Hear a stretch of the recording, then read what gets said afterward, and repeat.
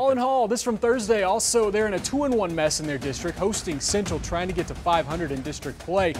The Dutch, Trey Burleson sacked by Aiden Guest. The Braves take over from that spot. That's about where the highlights would end for Central. For Holland Hall, they were just getting started. Burleson deep for Julius Wilson. Diving catch, 33 yards. They would score later as the quarter flips over. Holland Hall wins big 28 to 6.